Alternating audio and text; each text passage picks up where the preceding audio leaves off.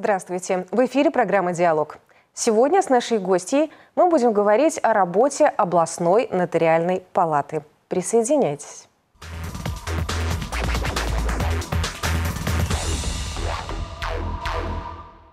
Маргарита Анатольевна Жорова, председатель Гомельской областной нотариальной палаты. Родилась в городе Новозыбкове Брянской области. Закончила юридический факультет Белорусского государственного университета имени Ленина и Академию управления при президенте Республики Беларусь по специальности государственное управление. Трудовой путь начинала рабочей Новозыбковского мясо-птицекомбината. Работала статистиком Новозыбковского горкома ВЛКСМ, государственным нотариусом, заместителем начальника Главного управления юстиции Гомельского области исполкома. В декабре 2013 года избрана председателем Гомельской областной нотариальной палаты. На вопросы, которые касаются деятельности нотариусов, прямо сейчас можно получить ответ, позвонив по номеру телефона в Гомеле 340 043. Свои сообщения вы также можете отправить в Viber номер плюс 375 29 340 043 3.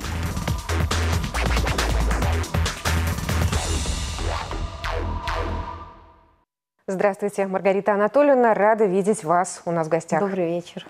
Прежде чем мы начнем нашу беседу и будем принимать вопросы от телезрителей, уже по сложившейся традиции короткий анонс событий наступившей недели.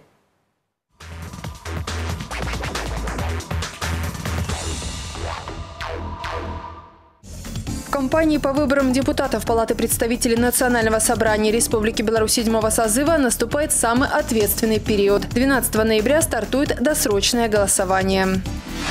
Основной день голосования – 17 ноября. Избирательные участки будут открыты с 8 до 20 часов.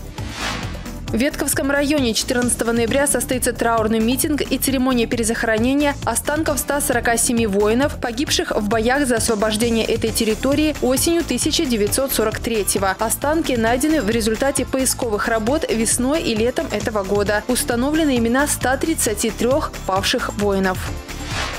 14 по 16 ноября Гомель станет центром притяжения для самых талантливых и творческих людей. В Международном фестивале искусства «Гомель Фест» примут участие конкурсанты в пяти номинациях – вокальное, хореографическое, инструментальное, театральное и изобразительное творчество пятницу, 15 ноября, начнутся торжества в честь тружеников села, посвященные Дню работников сельского хозяйства и перерабатывающей промышленности. До 23 ноября они пройдут во всех районах области. Первыми принимать поздравления с профессиональным праздником будут представители Гомельского, Добружского и Калинковичского районов.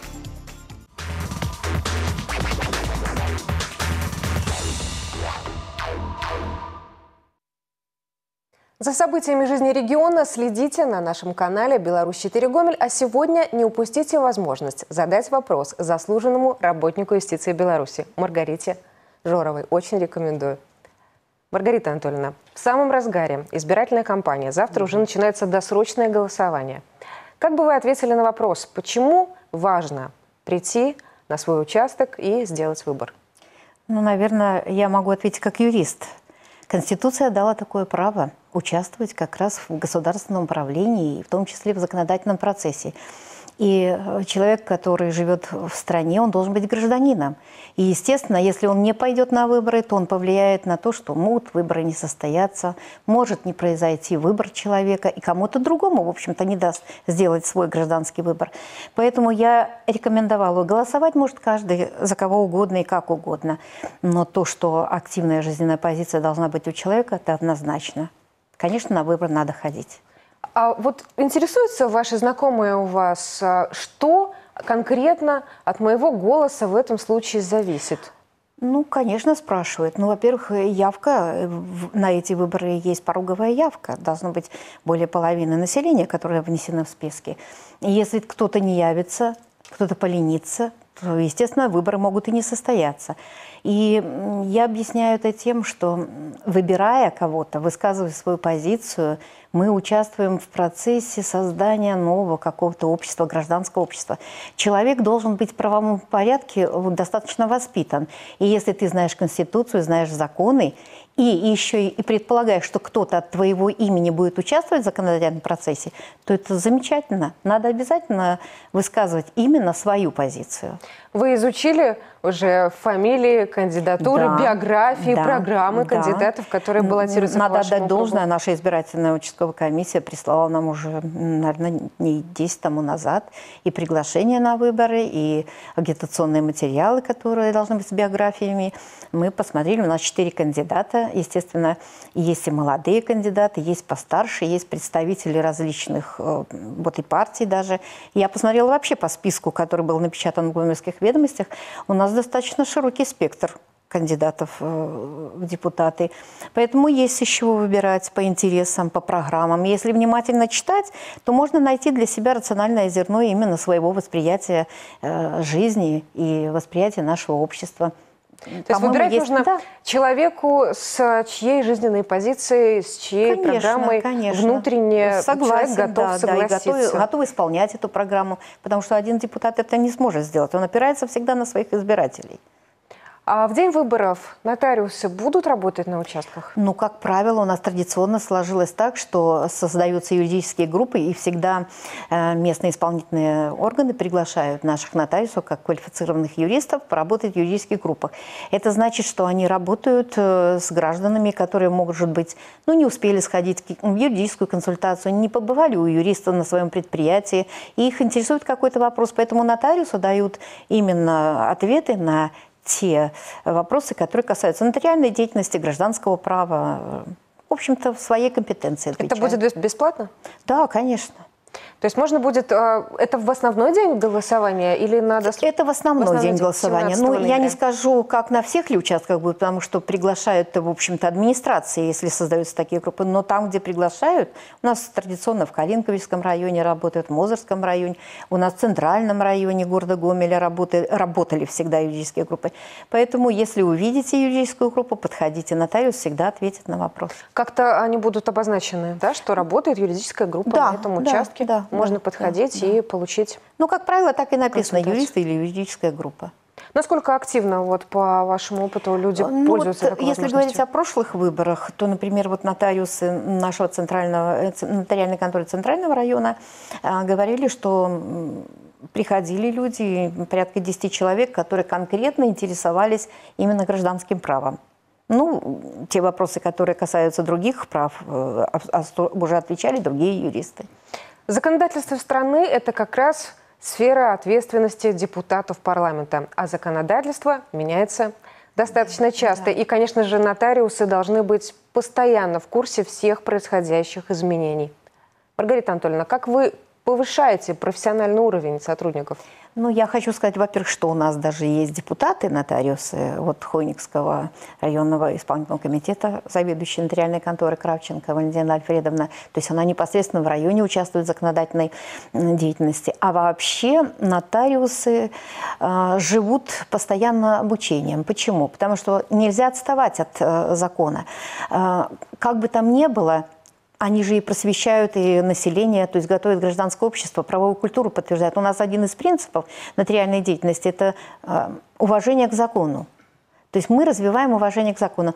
Поэтому, если сам человек не знает, профессионал не знает, как ответить на вопрос, это очень стыдно. У нас работает при БНП научно-методический обучающий центр, в котором проходит э, повышение э, квалификации все наши нотариусы. И вы знаете, эти курсы достаточно широко, широкий спектр вопросов, начиная от конфликтологии, общих вопросов профессиональной этики заканчивая чисто профессиональными вопросами совершения нотариальных э, действий. Есть где образовываться, и при желании можно это повторять, повторять и повторять. Поэтому нотариусы как раз и рассчитан нотариус на то, что он вечный студент. А молодое поколение также относится к этой профессии? Приходят в ваши ряды? Приходят, приходят. У нас очень большой резерв на нотариальную, на нотариуса. То есть э, ведет его БНП, но принимаем заявление мы, отправляем туда очень большой резерв. И становятся люди различных возрастов. Ну вот за- у нас мы работаем почти 6 лет. За это время у нас только пришло э, два новых нотариуса. Было три стажера, но один не сдал квалификационный экзамен, то есть подготовился не совсем четко и на повторную пересдачу не пошел. Но вот двое пришли к нам.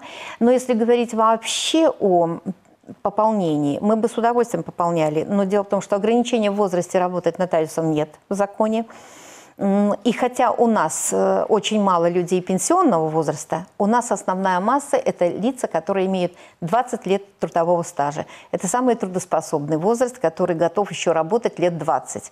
Поэтому, конечно, если работает очень хорошо и развивается хорошо, то, так, то вы такого так, человека конечно, не отпустите. Конечно. Маргарита Анатольевна, а какие требования должен э, выполнить претендент на должность нотариуса? Ну вот, во-первых, э, пройти стажировку. Стажировка должна быть не, э, не, не, не менее одного года.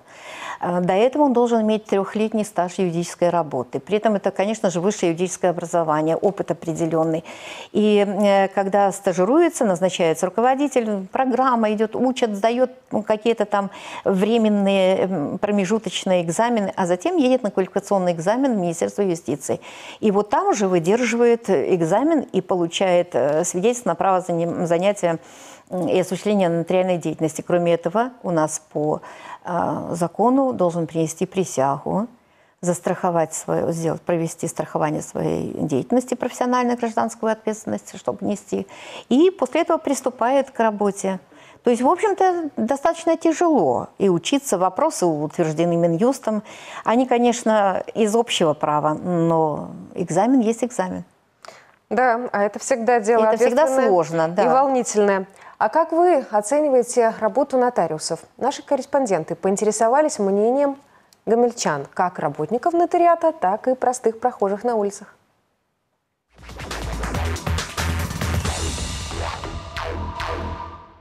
Очень было профессионально, замечательно. Девочки молодцы, как бы без очереди, все, все культурно, все красиво. Спасибо за работу. Я работаю в организации, которая строит жилые дома. Вот, являюсь представителем здесь застройщика Минского в городе Гомеле. Все сделки оформляют только в этой нотариальной конторе. То есть вообще приходишь, э, договора уже все составлены очень грамотно, у людей никаких вопросов не возникает, в частности, даже вот у наших клиентов.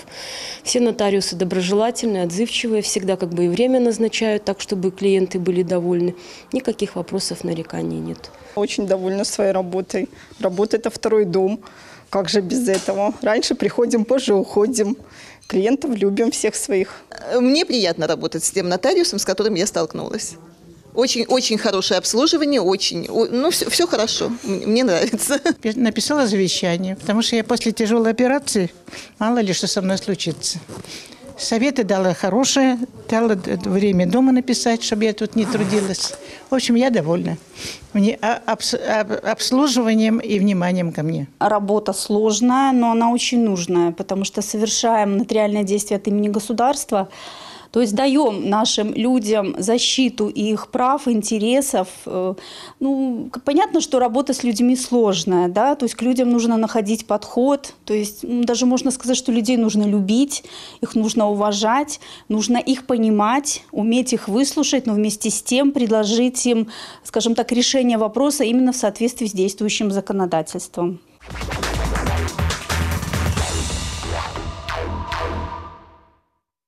прямом эфире «Диалог» мы говорим сегодня о деятельности нотариусов. Готовьте ваши вопросы, мы их выслушаем и ответим. Маргарита Анатольевна, а бывает, что вы недовольны работой сотрудников нотариата? К сожалению, бывает.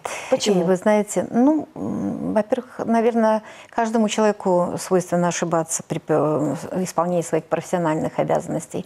Но наши ошибки чреваты последствиями, которые касаются интересов э, и прав граждан. И поэтому, конечно, когда нотариус ошибается по неосторожности и неумышленно, то, может быть, это оценивается по, по-другому, чем если бы он это сделал умышленно и э, препятствовал как раз защите интересов граждан. Но, к сожалению, э, не всегда же все ладно, и поступают обращения. Но у нас работает, вот для того, чтобы не было таких случаев, работает дисциплинарная комиссия, которая состоит из членов нашего, э, нотариусов нашего Гомельского нотариального округа. И как бы товарищи по работе, которые непосредственно знают эту работу тоже от э, А до Я, вот они рассматривают материалы. Поэтому не хотелось бы иметь случаев. Но, как правило, жизнь иногда преподносит сюрпризы, и это большое сожаление вызывает. И, наверное, если такой случай один на сто э, бывает, да, и один в 10 лет, все равно мы очень долго помним его, разбираем, рассматриваем, не скрываем свои недостатки, выносим на обсуждение всех э, нотариусов. То есть для нас это трагедия, когда неправильно что-то совершено нотариусом. А человеку, обратившемуся в данном случае, возвращаются? Ну, во-первых, у нас же есть понятие, как восстановить права, и это судебная защита. Все действия, которые совершаются нотариусом, по закону человек может обжаловать э, в судебном порядке, восстановить свои права, признать там договор недействительным, завещание недействительным. То есть суд восстанавливает права. И если есть э, нарушение со стороны нотариуса, то мы вот как раз страхуем гражданская ответственность за страхуем свою деятельность, и нотариус теперь отвечает своими, своим имуществом за ошибки, которые он совершает.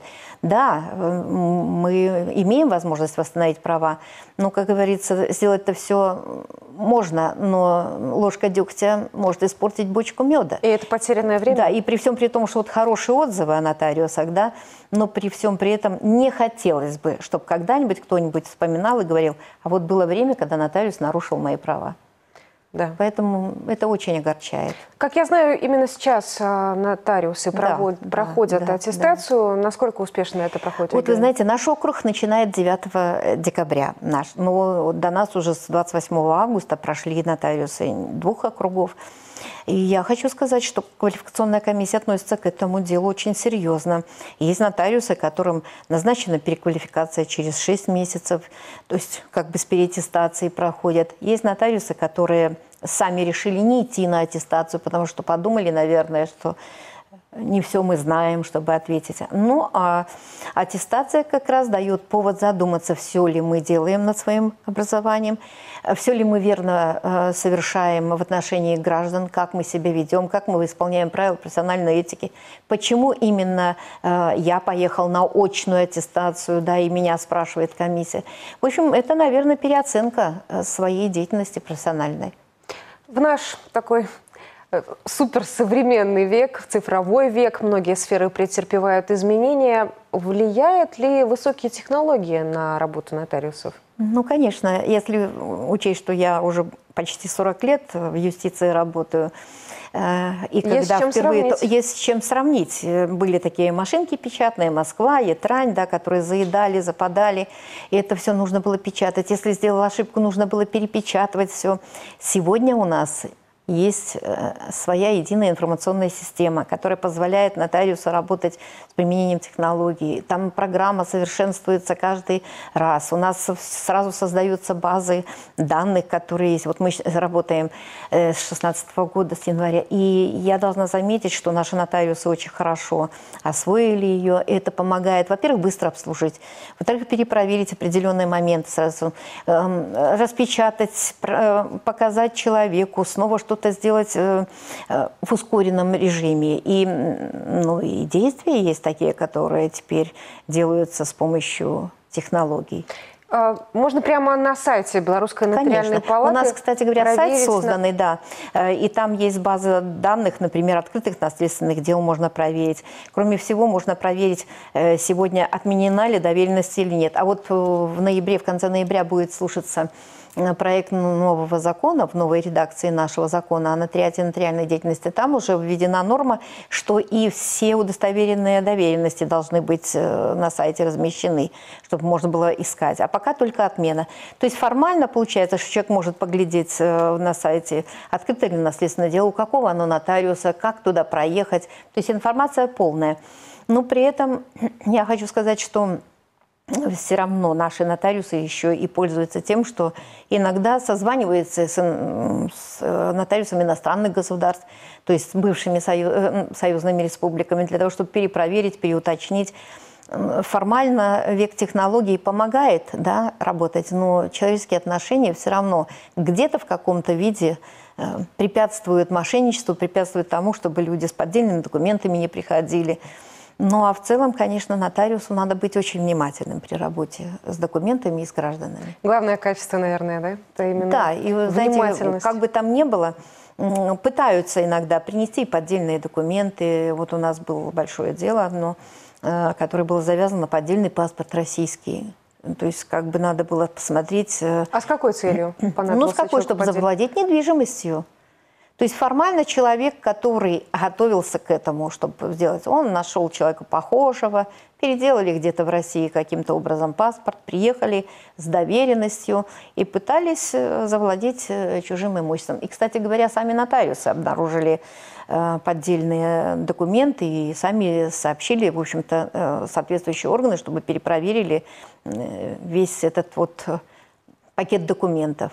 Хотя, конечно, уже до этого они совершили несколько сделок. Поэтому нотариус, конечно, он несет ответственность за свои действия, но и старается предостеречь людей, чтобы перепроверяли вот данной ситуации.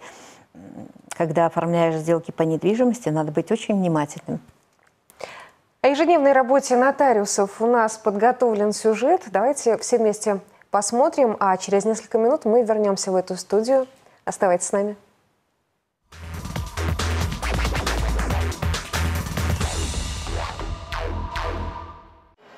Списке самых больших городов Беларуси Мозырь занимает 12 место. Сейчас здесь проживает около 110 тысяч человек. Из последних городских новостей. Всех желающих приглашают принять участие в районном этапе конкурса «Мисс Беларусь». Инвесторам предлагают приобрести земельные участки. Для специалистов проводится семинар, организаторы которого обещают научить продавать больше с использованием интернет-технологий. В общем-то, обычная жизнь районного центра. В нотариальной конторе номер два за городскими новостями следят внимательно. В конце концов, концов, нотариусы тоже жители этого города. Другое дело, что в отличие от остальных, им приходится постоянно помогать людям в решении возникающих вопросов, составить завещание или заключить брачный договор, удостоверить доверенность или выдать свидетельство о праве на наследство. Работа с людьми по 8 часов в день – на такое способны только настоящие профессионалы. Иногда в нотариальную контору приходят очень расстроенные граждане своими из-за своих каких-то психологических э, нагрузок. Э, тем более мы оформляем наследственные права из-за потери какого-то близкого ему человека.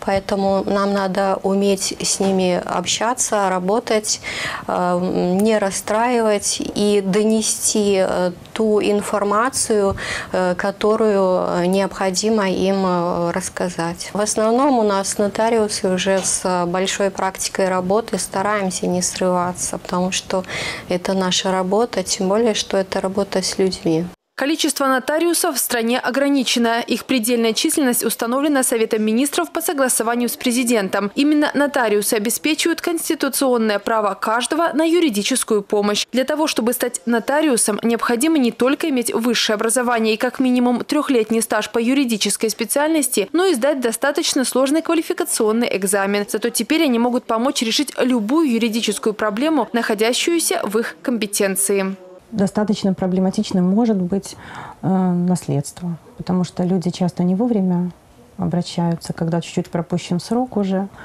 они где-то вспоминают, э, где-то уже утеряны документы, что-то забыто. И когда уже происходит восстановление этих документов, тогда это может занять какой-то промежуток времени.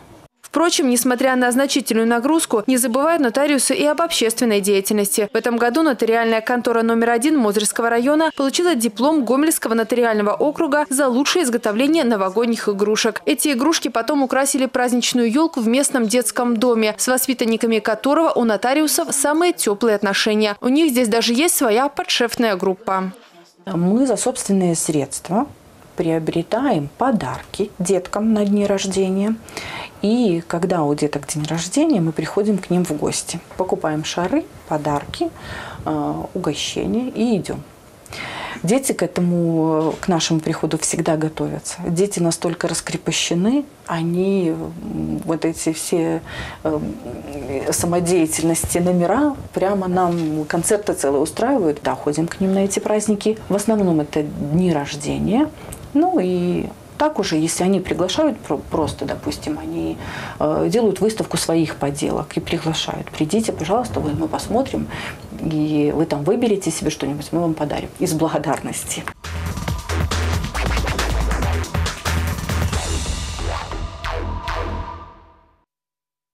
Вы смотрите «Диалог». У нас в гостях председатель Гомельской областной нотариальной палаты Маргарита Жорова. Маргарита Анатольевна, а, традиционные вопросы нотариата, оформление наследственных прав и удостоверение сделок с недвижимостью. Но читала, что в последнее время более трети всех совершаемых действий – это учинение исполнительных надписей. То есть этим правом, которое относительно недавно появилось у нотариата и у людей, люди пользуются достаточно активно, чтобы взыскивать деньги с должников, так? Вы знаете, вот я посмотрела за 9 месяцев статистику. 133 тысячи мы действий совершили за это время. Из них 47 – это исполнительные надписи. И большая часть, почти 80%, это те надписи, которые взыскатель, подавая заявление, освобожден от уплаты нотариального тарифа. И я вот хочу сказать, что это более короткий путь к, к тому, чтобы вернуть долг, вернуть какие-то э, государственные платежи. В основном, конечно, это чаще всего это коммунальные платежи, э, должники. Но это упрощенный путь бессудебный, э, разбирательства бессудебного. Бесспорно представляется пакет документов, который указан в указе, и нотариус делает, совершает исполнительную надпись. Надо отдать должное всем юристам, кто работает с нами. Они уже привыкли, как правильно готовить пакет документов. Это достаточно быстро делается, хотя объем очень большой. Есть некоторые конторы, которые в месяц делают по 500 исполнительных надписей. Это большая нагрузка. А я помню, еще совсем недавно, несколько лет назад, мы с вами обсуждали да, введение да, только да. такого новшества. Ну, а оказалось, да, что... уже нормально. И вы знаете, вот набирает ход, потому что если говорить о качестве э, этого нотариального действия, то, наверное, оно популярно, потому что многие, кто хочет в суд пойти, не имеет возможности заплатить пошлину, здесь освобождена, либо не может э, собрать э, весь пакет документов, необходимый именно для судебной защиты. Поэтому, наверное, не зря государство приняло такой документ, чтобы помогать э, возмещать ущерб и делать все остальное, что необходимо. То есть работает эффективно? Работает эффективно. Это норма. А какие нотариальные действия самые редкие можете припомнить? Удивили чем-то вот в ну, этом году люди? Ну вот за время работы в новых условиях нотариата не было ни одного, ни одной передачи документов на хранение. Есть такое, принимает нотариус, может принимать документы на хранение. Не было по статистике. Очень редко бывает свидетельство времени подачи документа, представления документа. То есть, как бы, если вот есть, например, люди приходят э, и устанавливают факт нахождения человека в живых или тождественности с фотографией, то как раз время предоставления документов крайне редко. Ну, есть те, которые не так э, часто, но все-таки есть это соглашение. Вот и об алиментах теперь начали, но их очень мало. И как-то наше общество не хочет облегчить себе ситуацию, почему-то в судебном порядке взыскивают элементы, хотя можно решить эту проблему э, у, у нотариуса. Ну, а в целом, наверное, все-таки обращение э, граждан э, к нотариусу системное и приблизительно одинаково каждый год. В скором времени у нотариусов можно будет проставить апостиль Пока же за этим нужно отправляться в Минск, а можно ну, будет да. Да, у любого ну, просто, районного нотариуса. Да, вот чтобы ответить на этот э, вопрос, надо сказать, что такое вообще апостиль. Да. Апостиль – это установленная Гаагской конвенцией 1961 года, э, которой присоединилась Беларусь. Это требование, так сказать, к упрощенной легализации документов. Это проставление определенного штампа, в котором указывается организация и фамилия человека, который совершил эту запись. То есть формально Эм, апостиль – это подтверждение того, что этот орган есть в государстве, что человек этот работает в этом органе, что ему позволительно. Это относится к компетенции его, представляет такой штамп. Сейчас у нас есть органы, которые определяют, определены государством. Это Министерство юстиции в отношении всех документов из юстиции, полученных эм, департамент э, по архивам, это те документы, которые архивные, департамент, э, значит, Министерство образования, документы образования. А сейчас вот те документы, которые поступают э, в Министерство юстиции, э, будут э, апостили проставлять нотариусы. Есть просто проект указа, в котором прописан порядок, процедура. Мы ждем его и надеемся, что он скоро будет. Но это порядка где-то вот в Гомельской области. Сейчас это управление юстиции делает, наше главное управление юстиции. Ну, вот, как говорят специалисты, чуть более 500 апостилей представляется. Ну, значит, не надо будет людям ехать Да. э, никуда. Будет И- гораздо проще, Да, легче. у каждого в своем районе пришел к нотариусу и сделал то, что ему необходимо для действия за границей. Маргарита Анатольевна, у нас поднакопились уже вопросы от телезрителей. Давайте их рассмотрим. Могу ли я встать на льготную очередь на постройку жилья, если живу с мамой в однокомнатной квартире? Метраж всего 44, жилая площадь 16. Ну, здесь надо смотреть, как, э, какие нормы установлены. Норма у нас менее 15. Если не получается, значит, не поставят на учет. А можно ли оспорить завещание? Если да, то что для этого нужно сделать? Ну, можно оспорить любой документ, потому что э, сделки оспоримы, и завещание тоже оспоримо. Но для того, чтобы это сделать, надо доказать, что завещание, которое сделал наследник, наследодатель, оно было сделано либо под принуждением, либо он не понимал своих действий, либо в тот момент он был недееспособным, но не был признан дееспособным, недееспособным в суде. То есть нужно доказать обстоятельства, по причине которого человек хочет признать завещание недействительным. Тем более, что у нас состязательность процесса, если мы хотим признать его завещание недействительным, значит, надо представлять доказательства это. То есть в судебном порядке. А лучше, если есть имущество, завещать его кому-то из близких родственников, либо подарить? Что вы рекомендуете? Ну, этот вопрос, вот вы знаете, все время задает эм, народ наш. Но тут надо просто рассуждать, что мы хотим. Мы хотим сейчас прям распрощаться с- со своим имуществом, да, и э, хотим, чтобы оно перешло своими к другому. Да, перешло к своим родственникам. Либо мы хотим, чтобы это случилось после того, как наступит э, факт смерти. Вот завещание как раз это распоряжение на будущее, после смерти. А дарение – это значит сегодня мы оформляем договор дарения и происходит переход права другому человеку. Ну, стоит это делать или нет, решает сам человек. Но такая практика распространенная. я да, распространенная понимаю. практика. Можно ли вносить изменения в брачный договор по ходу возникновения необходимости? Да, брачный договор – это такой же договор, как и все остальные, гражданско-правовой, и в него вносятся изменения, если они не противоречат э, Кодексу о браке и семье. Ну, я думаю, что на самом деле мы же растем, взрослеем, семейный стаж прибывает, Ну да, появляются прибывает новые и имущество, и да, и другое Да. что-то такое. Да, вполне реально, есть такие соглашения. То есть можно. Да. А, Это нужно делать у того же нотариуса? Нет, это можно у другого Поднять сделать, этот да. договор можно с любым специалистом. Так, сейчас обновился портал. Разводимся. Какие есть варианты уплаты алиментов, не подавая иск в суд? Ну, у нас же существует принудительный и добровольный порядок уплаты алиментов, поэтому если все нормально, разводятся-то, в общем-то, по одной причине, а дети это совсем другое. Тут уже никто не решает прав и обязанностей по отношению к детям. Поэтому если цивилизованно решить эту проблему, то можно добровольная уплата, порядок э, пред- предполагает, что э, можно написать заявление в бухгалтерию, бухгалтерия будет удерживать и отправлять на счет. Можно сделать соглашение об уплате алимента у нотариуса, пожалуйста, тоже определить. Единственное, если в таком э, требует закон, в таком соглашении, чтобы размер алиментов не был ниже установленной нормы э, законодательства. То есть, если оба супруга согласны, Согласны, на да. приемлемые условия, можно отправиться к нотариусу, заключить Это это соглашение, соглашение об уплате и в алиментов. дальнейшем уже эту тему Это будет при такой же, разводе да, не поднимать. не То есть поднимать, ее можно уже да. не обсуждать. А если после этого супруг захочет изменить условия? Но если он захочет изменить условия, то, как и в любое соглашение, вносится согласием сторон. Если нет, то закон говорит, гражданский кодекс, что в судебном порядке. По наследству от отца нам троим, мать, несовершеннолетняя сын и дочь, перешла машина. Можем ли мы ее продать?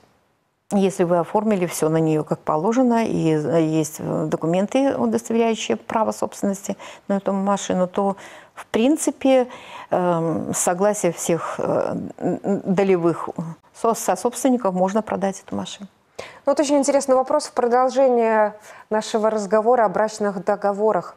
А скажите, пожалуйста, можно ли заключить брачный договор перед разводом? Ну, если исходить из э, семейного права, то договор брачный введен был для того, чтобы укрепить семейное правоотношение. И он заключался как раз в этих целях. Определить так, чтобы было легче э, руководствоваться в браке своими правами и обязанностями.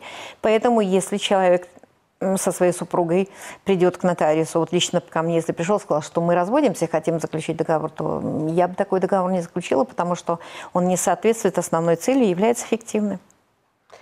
А, то есть, а если не сообщать нотариусу, Ну, с какой целью мы будем заключать Нотариус, брачный между прочим, пытает.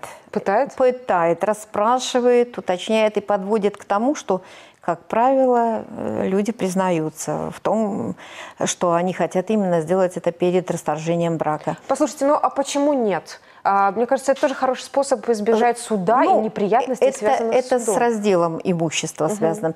Формально, формально, знаете, как бы мы все-таки объясняем, что э, развод это такое дело, которое завязано не на имущество, а вообще на распад семейных правоотношений. А брачный договор, как правило, больше решает имущественные отношения для того, чтобы в судебном порядке было легче разделить это имущество. Поэтому, наверное, он все-таки направлен в данном случае, будет направлен не на укрепление семьи, а на упрощение раздела имущества, потому что это связано с государственной пошлиной при подаче иска, это связано с длительностью сроков рассмотрения. Конечно, с брачным договором это все проще, потому что везде написано расторжение брака, раздел имущества э, по одной второй каждому, если иные условия не оговорены брачным договором. Поэтому я рекомендую заключать э, э, под отлагательным условием брачный договор. То есть, когда сговариваются о свадьбе, заключить брачный договор, определить на будущее еще не между супругами, потому что такое право есть. Этот договор вступит э, в действие тогда, когда заключен брак будет. И вот уже определить, тут уже как бы понятно, мы сговорились, и мы исполняем этот договор. Вот это, вот тут, я думаю, действительно будет укреплять семейные Послушайте, ну, совершенно молодые люди, влюбленные, которым еще кружит голову, и которые, конечно же, не могут представить себе ситуации, что они придут разводиться делить чашки, ложки. Ну да, это для более зрелых людей, Да. которые вступают в брак уже, так сказать, в среднестатистическом возрасте брачном, а не в 19 лет. 19 лет действительно, я согласна с вами. Ну, хотя Ну, бы а зрелые может- люди. а, а, Они ну, приходят со своим имуществом Ну, бывают уже. и в 19 Да. лет люди зрелые, Да, а в 40 нет. Это Да, да, да. э, от возраста не так прямо зависит. Ну, а может ли нотариус подсказать, с какую норму им стоит обсудить и, Конечно, и включить в этот конечно. договор? Потому что мы же очень о многом не Брачный договор – это очень подумать. серьезный договор. Он требует очень большой работы и обоснований правовых. И, конечно, нотариус, прежде чем его составит, рассказывает основные, э, право- вернее, правовые основы этого договора, условия, какое, какие можно включать, как это делается. Выпытывает, в общем-то, какое имущество, какое добрачное было, какое, в общем-то, нажито в браке. Нет, нотариус очень долго работает. Составить проект договора брачного много времени занимает. То есть это не вариант, ну-ка, что вы там принесли, да? Нет, нет, Подписали, нет, нет, разошлись. нет, нет, это большая, большая работа. творческая и правовая работа. Очень, да, я бы рекомендовала, конечно, всем здравомыслящим людям эту, эту работу не упустить при подготовке к свадьбе. Ну, я хочу сказать, что пусть лучше не разводятся и не делят э, имущество, пусть лучше браки наши будут крепкими, потому что, к сожалению, они очень часто распадаются. Но вместе с тем, если это будет укреплять семейные отношения, то надо как можно чаще этим заниматься. И как превентивную меру Да, использовать в да. том числе. Разводимся. Если муж гражданин Российской Федерации, мы разводимся, дети останутся со мной, старшему 15, младшим 7,4. Мгм. Ну, в данном случае надо сказать, что тут не зависит от того, кто какое гражданство несет, но зависит от возраста детишек. Если будет э, суд и ребенок старше 10 лет, э, спрашивают, судьи спрашивают его мнение, с кем бы он хотел проживать. Поэтому тут, в общем-то, вполне реально, чтобы один из детей вот дал согласие и стал жить с отцом. Но э, суд рассматривает это все в общих, э, э, э, с применением как бы всех общих правил, в том числе как проживает мама, как будут проживать дети с ней, какой у нее доход, какой доход у отца, как характеризуются родители, кто как относится к ним. Здесь и заключение органов опеки и попечительства спрашивается. Это очень серьезный вопрос, потому что, как правило, для детей развод ничего не означает. Родители остаются родителями, и вот тут уже как бы смотрят, как это может повлиять на психику ребенка, не повлияет ли на будущее его. Ну, ребенок 15 лет и ребенок 7 лет, Конечно, это, 15-летний это разные может уже дети. выбрать, да. 15-летний, может, 15-летний выбрать. может выбрать. Если 15-летний заявляет маме о том, что я хочу жить с папой и, и сменить место жительства и уехать, к примеру, с папой в другую страну для Мгм. постоянного проживания, то... Ну, в другую страну здесь разрешение мамы нужно, во-первых, да. Во-вторых, мама может оговорить, и, кстати говоря, есть соглашение о детях еще. Мама может оговорить, как встречаться и как э, видеться с этим ребенком. Ну, вопрос в любом случае сложный. Вот все-таки не зря возникло выражение, что желание спорить порождает судей, а не Да. желание нотариусов. И для того, чтобы не доводить до какого-то острого эмоционального конфликта лучше предусмотреть заранее, прийти посоветоваться. Конечно. Спасибо огромное за сегодняшний диалог, Маргарита Анатольевна. Спасибо. Председатель Гомельской областной нотариальной палаты Маргарита Жорова была сегодня у нас в гостях. Спасибо вам за внимание, за ваши вопросы. До свидания.